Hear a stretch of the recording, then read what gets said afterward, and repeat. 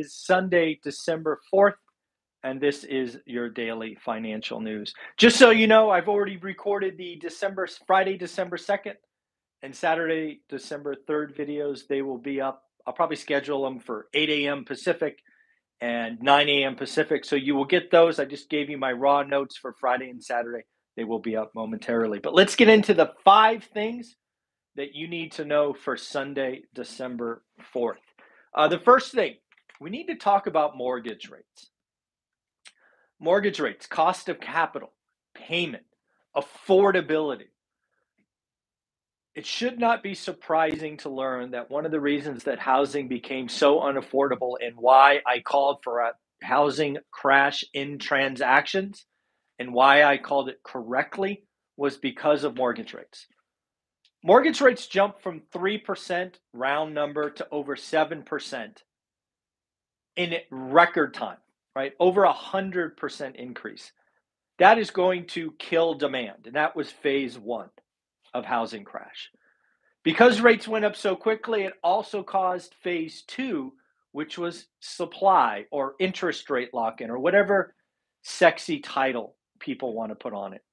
We are in phase two right now. We will come out of phase two, I believe, on March 15th, the spring selling season. As I have said for quite a while, there are two variables that we need to know to understand what happens March 15th. One is unemployment. Is unemployment 3.7, 4.2, 7.5? Where are we on the scale of unemployment? The other one is interest rates. Interest rates is what I want to talk about here as point number one. I believe what happened last week is we have taken off the table Fed funds of 7%, as James Bullard teased or created fear. I believe we've also taken funds rate of 6 off the table. My call of 5% is feeling more and more likely. That means mortgage rates of 10%, like a lot of fear channels we're talking about, is highly unlikely next year. I think 9% is highly unlikely. Could we see 8? No idea. I think there's a chance that we average average under 6% this month. I believe the last report, which comes out, I think, on Wednesdays, was 6.49. That's the average. I have gotten notes from folks and followers, and thank you so much. I appreciate all my followers, all my comments. I am still the only one uh, responding, right? I don't have a team, it's just me. So if you see a reply, that is from me. So thank you. Some of you have told me that you have gotten rates locked in. Congratulations at 5.8 and 5.77%. Congratulations. Why is this important? Because I think we learned in July that 6% is a psychological level. I believe if we get to a 30 year mortgage where the average home buyer, this is not investors, home buyer, 62%, 63% of my competition are home buyers, homeowners. If they can get 30 year money below six, I believe they come back. Now, here, watch this. The consumer is predictable. When we are racing from 3% and we get all the way to seven and a half, people pull back, right? Phase one, demand destruction. Because they say things like, I could have gotten, I could have, I could, I woulda, shoulda, coulda, because I could have got 4%. Now we flip the script, right? Memories are weird because now they're going to say, hey, I can get 5.7. That's much better than 7.2. And it is. On the average home, a point and a half percent drop in mortgage rates is hundreds of dollars a month. So before, while rates were going up, we were losing the marginal buyer. Rates down a point and a half, we actually add buyers. Now, I'm not calling for, I haven't changed my opinion. Housing transaction crash. Prices flat. I am not I'm not calling for a run up or a run down. We have years of flat home prices. We had two years, in two years, we had a decade of appreciation. I'm not changing my call. Five years flat, you know, plus or minus 1. But mortgage rates are important. So on March 15th, will mortgage rates be under six or over? That's an important question. We go into the spring selling season with 5.5% mortgages and an unemployment rate sub 5%, and we have no trend and we have no supply. It's going to be an interesting market. It'll be a very different market than 30 year mortgage rate at seven and unemployment at six right? So again, we got to figure out where rates will be March 15th. So if you've locked a loan, I'd love to hear from you. I'd love to see what the low rate here is recently. Again, the lowest I've heard of so far is 5.77, and I also heard of 5.8. But yeah, rates below six. Who would have figured? So that's an important one. Blackstone. Uh, as I said in my Saturday or my Friday session, I think must have been Friday. Uh, one of the companies, again, one of my goals is to deploy 50 grand into dividend stocks. I just like to keep everybody up to date. Not that it's a big purchase, but I did buy 25 more shares. So now I have 50 shares of Blackstone. Friday, Blackstone dropped. Uh, I think it dropped like 7% in the morning, and I picked up another 25 shares because there was fear in the market. Blackstone's private REIT limited withdrawals. This is the kiss of death for FTX and Celsius and crypto mine and all this stuff. Remember limited withdrawals? Here's the difference. Blackstone is not FTX. In Blackstone's paperwork, it says in big bold letters, we limit monthly withdrawals to 2% and quarterly re- redemptions are called redemptions to 5%. So Blackstone, because they've had redemption requests, limits withdrawals. Now, as a REIT, that's important because, again, a REIT has illiquid assets it is hard to sell real estate quickly for the right price. You could always fire sell it, but that's not what Blackstone is doing. So, what you also saw on Friday is Blackstone sold 49% of its ownership in two Vegas casinos above their book or above their mark. So, Blackstone is being a very, very good operator, I believe. And I put a couple of bucks.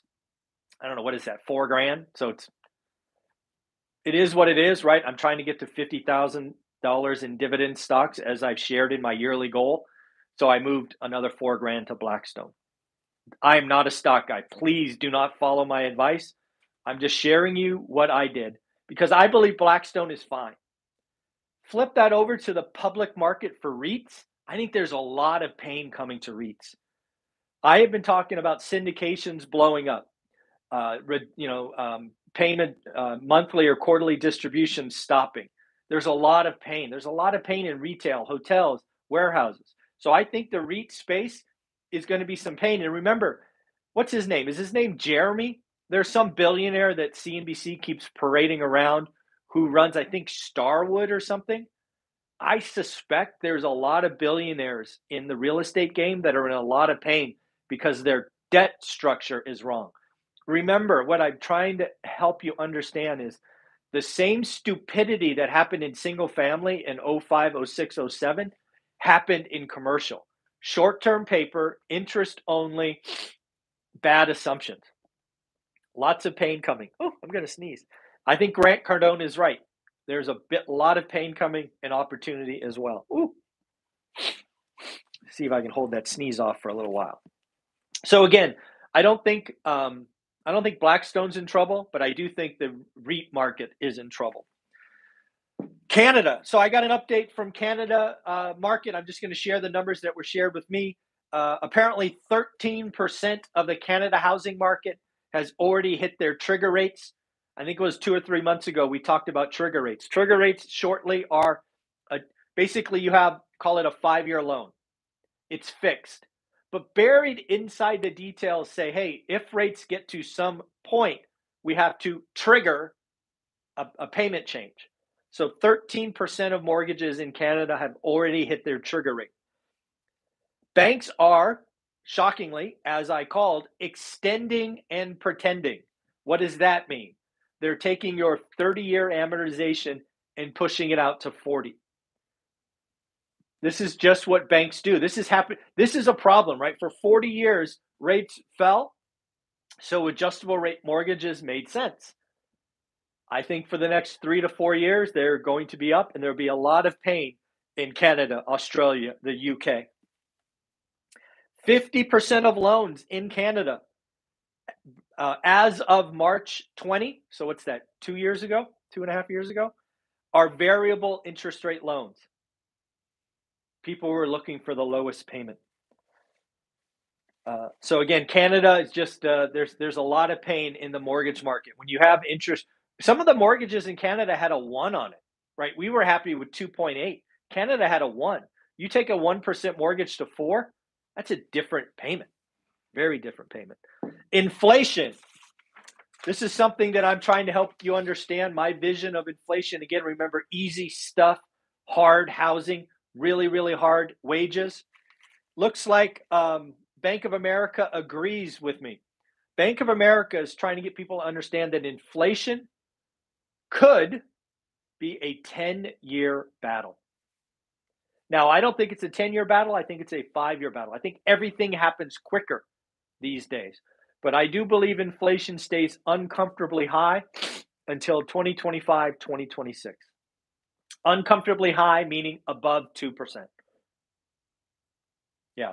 So again, uh, anytime inflation has gotten above five, this is CPI, it's taken a decade to get it to 2%. Now, again, I think things happen faster today. So I think it happens in five years, but we shall see. Reuters and John Burns. Again, shout out Lance Lambert from Fortune Magazine. He and I talked Thursday at 10 o'clock. Uh, he shared with me that John Burns Real Estate Consulting, somebody I follow, respect, and have huge ad- admiration for. John Burns is calling for a 20 to 22% collapse in national median home price by 2024. That hurts because that's not what I'm calling, and I haven't changed my opinion. John Burns, again, calling for a 20 to 22% collapse in home prices by 2024. Reuters has also gone negative. They now are calling for a 12% drop. Realtor.com, something I shared in my Saturday update, I thought I would share here. Realtor.com is on the opposite side. They are calling for 5.1% appreciation. It should be known, I think all three are wrong. I think we are plus or minus 1. And most importantly, transactions. That's where the, I don't know why everybody talks about price. Transactions are going to be sub 4 million. Housing is in a recession. I would argue housing is in a depression. If you are paid on commission in housing, it hurts. If you are a builder, you're going to build so much less housing is going to pull the country into a recession next year, in my opinion. We will see by how much based on point one interest rates. Does a mortgage have a five on it or a seven? That will be important. What do we average next year? If we average seven and a half, maybe John Burns is right. It certainly gives me pause when somebody I know, respect, and admire is calling for such a big drop. That's big, 20% in 2024. So the next 25 months, that's like 1% a month. Think about that. That's 1% a month, roughly. I don't see it. I don't see it. I think everybody forgets that there's this thing called a demand curve. Demand curve. In housing, what does that mean? Number of transactions right? Because that's how housing is measured. If John Burns or anybody calling for a negative 20% told me that we would average 6 million sales in 2023 and 2024, I would probably agree with them. I would say, you know what? You're right. What I believe John Burns is missing and all these crash callers are missing is our demand curve is not 6 million it's 3.9, it's 3.8, it's 3.7 million. That demand curve is fundamentally different. We have destroyed demand and destroyed supply. But hey, we will see. We will see. And then lastly, give you an update. We have loaded another session of our mastermind for free. Uh, we have just uploaded Omar's um, presentation, which was awesome in interaction with the audience. So if you are a member of my course, uh, give me about five minutes. I will go turn it on right now. Uh, if you haven't yet buy the course, buy it and save some big money. Once I'm done loading this mastermind, the cost of my course goes to 399. Buy it today, 329. Start doing the work now in December so you can figure out average and only do great deals next year. Lastly, if you spend the money, do yourself a favor and join the group. I have an amazing group that is absolutely free for anybody who buys the course called uh, One Rental at a Time Works. It's on Facebook. Thousands of people celebrating doing the work, taking pictures, networking. We are now big enough where subgroups are meeting, hold, you know, having accountability calls and the like. Uh, Amy, shout out to Amy in, in the Bay Area who's running an accountability call uh, in the Bay Area.